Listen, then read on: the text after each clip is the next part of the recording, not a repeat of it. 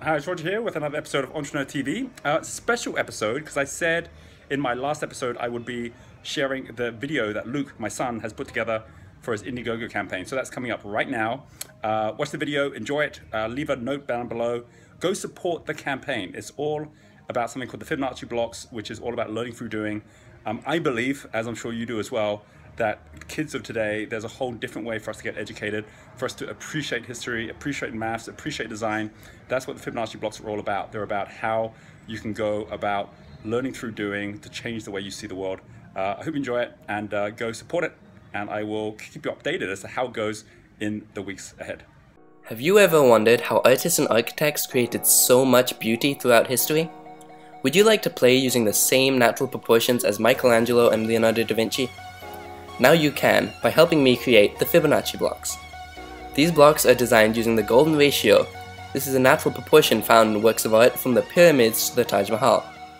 My name is Luke Hamilton. I'm a 16 year old student in Bali, and I created the Fibonacci blocks as my grade 10 personal project. I was inspired by Friedrich Froebel.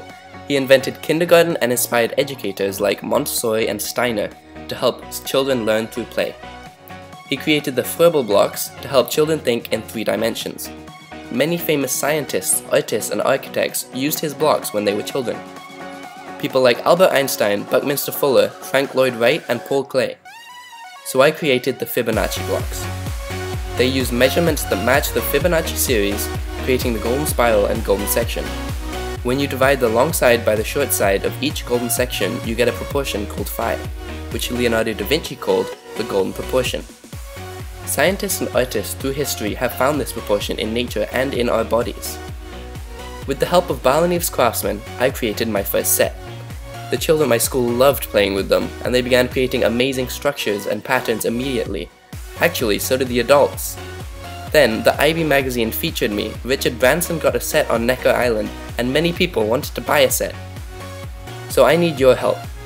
I have worked out that with your support, we can produce the blocks with a team of Balinese craftsmen friends, and family. By supporting this campaign, you can help children and adults around the world to discover their natural genius with the Fibonacci blocks. You will also be helping the environment as we're making the blocks from sustainable wood grown in Bali, and I'm giving 10% of all profits to the Rainforest Alliance to help save the rainforests.